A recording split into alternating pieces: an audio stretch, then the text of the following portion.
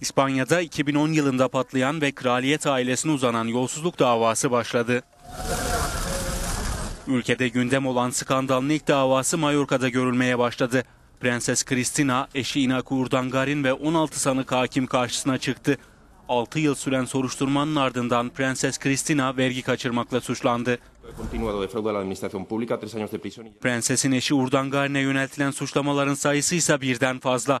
Urdangarin'in nüfusunu kullanarak başında bulunduğu NUS adlı enstitü vasıtasıyla devlet ihaleleri aldığı ve haksız kazanç sağladığı iddia ediliyor. de prisión y 20 años de inhabilitación. Urdangarin'in iş ortağı ve diğer sanıklardan bazıları da kara para aklamakla itham ediliyor.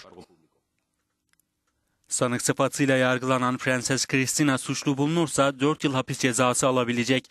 Urdangarin ise 19 yıl hapis sistemiyle hakim karşısına çıktı. İddiaları kabul etmeyen çift suçlamaların asılsız olduğunu öne sürüyor. Ekonomik kriz yıllarında patlayan yolsuzluk skandalı İspanyol kraliyet ailesinde depreme yol açmıştı. Kral Juan Carlos tahttan çekilirken görevi Prens Felipe devralmıştı.